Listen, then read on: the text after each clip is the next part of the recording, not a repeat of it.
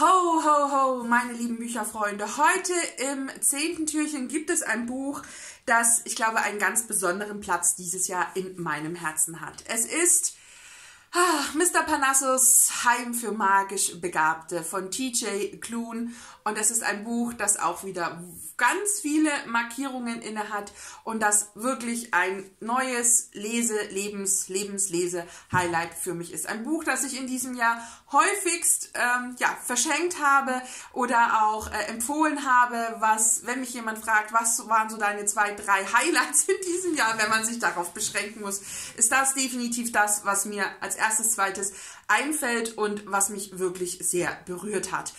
Ich hätte damit gar nicht so gerechnet, dass es mich so packt, aber war dann umso überraschter, als es so nach 80 Seiten anfing, mich nicht mehr loszulassen.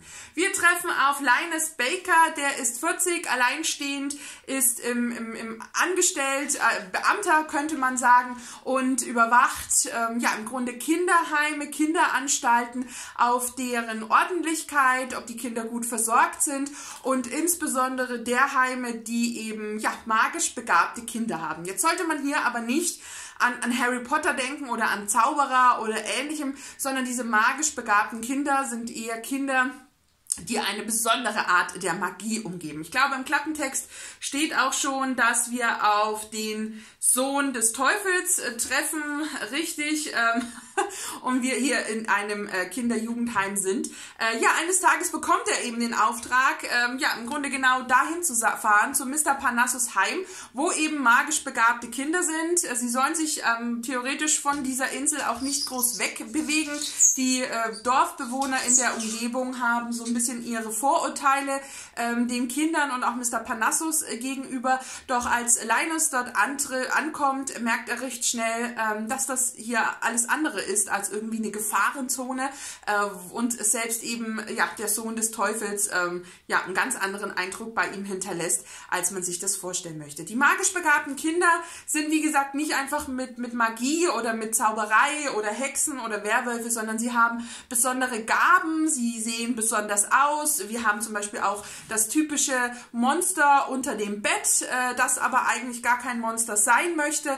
Wir haben verschiedenste Kreaturen, wir haben eben, wie gesagt, auch den Sohn des Teufels, dem eben immer erzählt wird, er ist böse und er wird äh, ja ganz böse Dinge machen und er ist ein Ungeheuer und er das aber auch als Kind gar nicht versteht. Und Linus ähm, begutachtet jetzt dieses Heim, begutachtet die Kinder und eben auch Mr. Parnassus und findet dort viel mehr, als er zu Beginn irgendwie glaubte oder ja, sich im Grunde auch er hätte erträumen können. Das Buch ist unglaublich viel. Es hat nicht sehr viel Fantasy. Es könnte auch tatsächlich einfach funktionieren, ohne dass man diese magischen Anteile hat. Es könnte eben einfach funktionieren mit Kindern aus verschiedenen Ländern, aus verschiedenen Regionen, aus verschiedenen Kontinenten.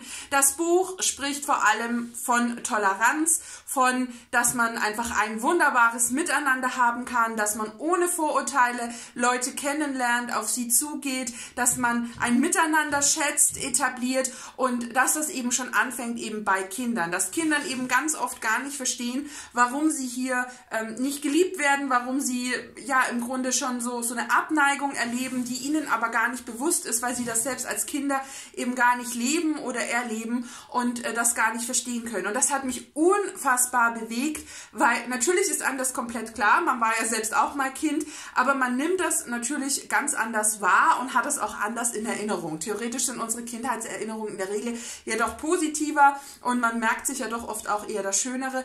Und äh, hier ist man eben so mit dabei, wenn es um diese Ausgrenzung geht und dann aber eben auch um Mr. Panassus, der seine Schützlinge zusammenhält, äh, ihnen die Welt zeigt, wie sie sein sollte, sie auch von dem nicht so Schönen im Grunde abhält. Und dann haben wir eben Linus, der von außen dazukommt und das eben auch noch alles äh, mitbekommt und erlebt und natürlich auch seinen Teil zur Veränderung von sich selbst, aber auch diesem Heim im Grunde beiträgt. Ähm, es ist ein wahnsinnig berührendes Buch. Es hat unglaublich viele emotionale ähm, Teile darin, gerade wenn es um die Vergangenheit oder die Gefühle der Kinder geht, wenn es um Linus selbst geht, wenn man seine ja, Veränderungen ein bisschen miterlebt, wenn man die Hintergründe dann auch kennenlernt und man ist da so mittendrin, man ist wirklich dabei, man, man ist ein Teil dieser Gruppe, man ist ein Teil dieser Geschichte man wird hineingezogen und das hat TJ Gloon unglaublich gut gemacht. Man kann ihm hier wirklich nur sagen, wie großartig er das gemacht hat, dass er eine nicht zu schnell erzählende Geschichte, also man sollte sich hier ein bisschen auf eine langsame Geschichte mit ganz viel Tiefgründigkeit und tiefen Noten ähm, ja im Grunde erwarten, äh, wie toll er das wirklich geschaffen hat. Also es ist eine Geschichte, die so viel erzählt, die so viel in mir bewegt hat, die mich zum Lachen, zum Schmunzeln, zum Weinen, zum Wütendsein gebracht hat und ich wirklich ganz, ganz viel aus diesem Buch mitnehme und es mich wirklich unglaublich gefesselt hat. Ein wunderbares Zitat von Mr. Parnassus ist, diese Welt ist ein merkwürdiger und wundervoller Ort. Warum müssen wir da für alles eine Erklärung finden? Nur zu unserer persönlichen Befriedigung? Weil Wissen Macht bedeutet. Ach, Macht. So spricht ein wahrer Vertreter. Warum überrascht es mich nicht, dass Sie Ihr Regelbuch auswendig kennen? Sie sollten vielleicht wissen, dass Sie das Mädchen irgendwann vermutlich unter Ihrem Bett vorfinden werden. Auch das Thema, wie eben die Kinder aussehen oder auch Leines aussieht, ist ähm, auf jeden Fall in diesem Buch mit vertreten. Und ähm, ja, hier geht es so ein bisschen um, um Leines, der bei einem Mädel auch so ein bisschen feststellt, ja, dass sie ja nicht unbedingt die schlankeste ist. Und dann antwortet sie ganz kühn, ich bin gerne rundlich. Das bedeutet nämlich, dass mehr von mir da ist, dass man lieb haben kann. Und das ist so ein schöner Satz. Also das sollte man sich definitiv auf T-Shirts drucken und ähm, ja. Dann geht es hier um die Weltrettung und ähm, ja, es geht um Lügen und um Hass. Und dann äh, wird hier geantwortet, Hass ist Zeitverschwendung. Ich bin viel zu beschäftigt, um zu hassen und das ist mir auch lieber so. Auch Kleinigkeiten sind von großer Bedeutung. Es heißt hier so schön, es ist nur eine Kleinigkeit, aber ich denke, auch Kleinigkeiten können von großer Bedeutung sein. Eines der Kinder hat eine Vorliebe für Knöpfe. Und dann geht es hier um die Kostbarkeit von Menschen. Und es heißt so schön, du bist so kostbar, dass ich es nicht in Worte fassen kann. Ich denke, es ist wie mit Knöpfen. Wenn du ihn fragen würdest, warum sie so wertvoll für ihn sind, würde er dir sagen, weil es sie gibt. Es ist ein Buch, ah, ja, was mich direkt wieder zum Strahlen bringt. Also mein ganzes Herz äh, sprudelt da auf.